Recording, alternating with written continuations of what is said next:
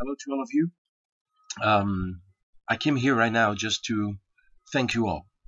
Um, I spent here uh, two weeks in Baltimore, in Pennsylvania. It was a real pleasure for me to being here and uh, enjoy it uh, performing for you.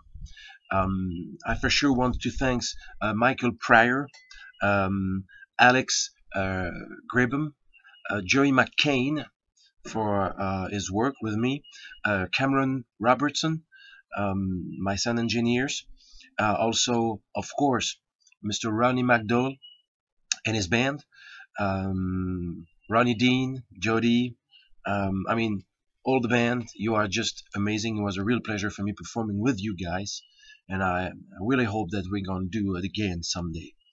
Um, I would like especially to thank uh, Mr. Ronnie Dove, who are in my heart one of my greatest friend. Um, I also have to thanks for sure uh, Darlene, Donna, who make all that dream possible, and um, I will do my best to make sure that you uh, enjoy it my show every time I came here. Um, I would like to thank my friend Craig, uh, who was with me all the time, every day, and we spend some really, really good time together, my friend. And I'm gonna miss you. I will see you back in May. I will see all of you in May.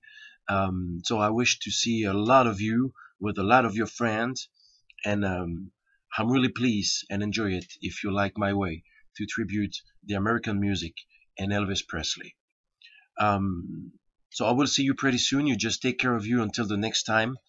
Thank you for being so friendly with me, the French guy. so um, I can't wait to see you all again.